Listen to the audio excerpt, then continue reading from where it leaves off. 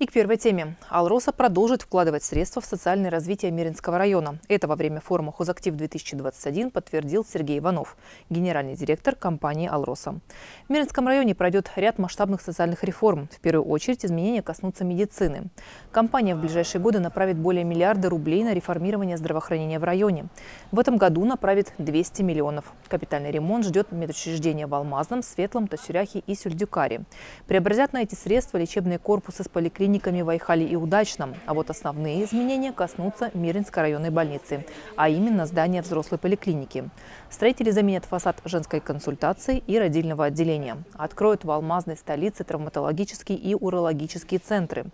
Здесь медики смогут оказывать высокотехнологичную медпомощь. В травматологическом центре у нас будет замена суставов.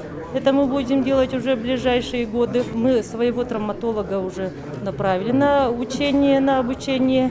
И также наши урологи, они оказывают и вообще уже делают операции э, на уровне высокотехнологической медицинской помощи. Продолжит Алроса и строительство культурных и социальных объектов в Мирнинском районе. Это дворец детства. Компания выделила 230 миллионов рублей. Также средства направили на строительство спортивно-оздоровительного комплекса в Верхнемунском и спортивный зал в Накыне. Внимание уделят и школьникам. Со следующего года почти 6 тысяч учеников с 5 по 11 классы будут получать бесплатные завтраки.